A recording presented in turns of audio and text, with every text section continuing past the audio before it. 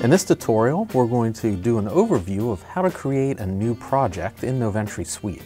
When opening the software, there's two ways to create a new project.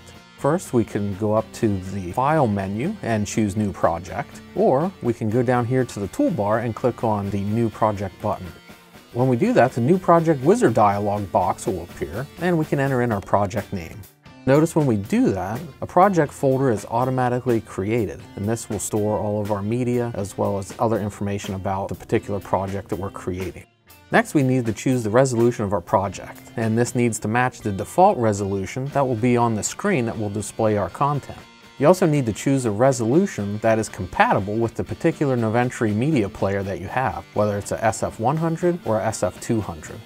So let's go down here through the list. We have an SF200 and our default resolution is going to be 1920 by 1080.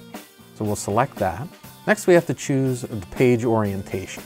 So if our screen is going to be mounted in a horizontal or landscape position, then it's at zero degrees. Or if we're gonna have a vertical or portrait screen, we would choose 90.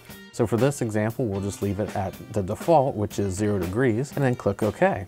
And we see here that a new project has been created called New Project. And by default, the Design tab is open and we are given a brand new page to begin designing content.